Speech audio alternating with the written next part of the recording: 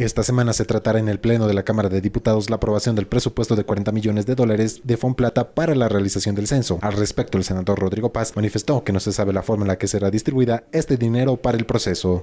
Los diputados y los senadores nos van a presentar un, anteproyecto de ley para pedirle 40 millones de dólares al Fonplata y no sabemos de qué va el censo. No hay fechas, no han puesto ni la fecha del 16 de noviembre entren al tema de eh, presupuestos.